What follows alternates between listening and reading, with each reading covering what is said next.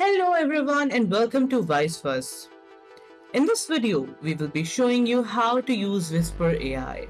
I'll show you step by step how to use this amazing AI tool that converts speech to text. This tool is developed by OpenAI and is completely free and open source. With Whisper AI, you can transcribe audio files into text with high accuracy in 96 languages even if the audio has background noise or is spoken with a thick accent. So let's get started. We are going to be using a tool called Whisper AI developed by OpenAI. You might know them from their other tools like ChatGPT and DALL-E 2, but don't worry.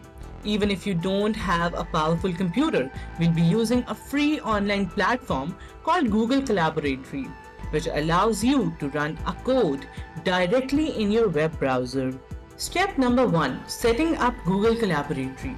To use Whisper AI, we will be using Google Colaboratory, a cloud-based platform for running code in the browser. First, go to Google Drive and create a new Google Colaboratory file. Once you have created the file, click on Runtime and then change Runtime type and choose GPU as your hardware accelerator. This ensures that your transcription process is fast and accurate. Step number 2. Installing Whisper AI. Next, we need to install Whisper AI. In the Google Colaboratory file, copy and paste the code from the description of this video to install Whisper AI from GitHub.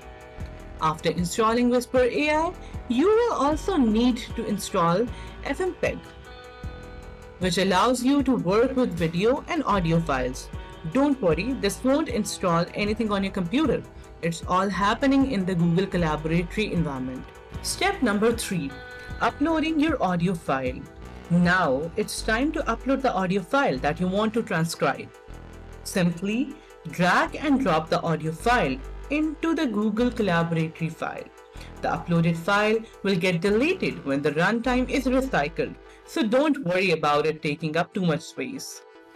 Step number 4. Transcribing the audio file. Once you have uploaded the audio file, it's time to transcribe it using Whisper AI.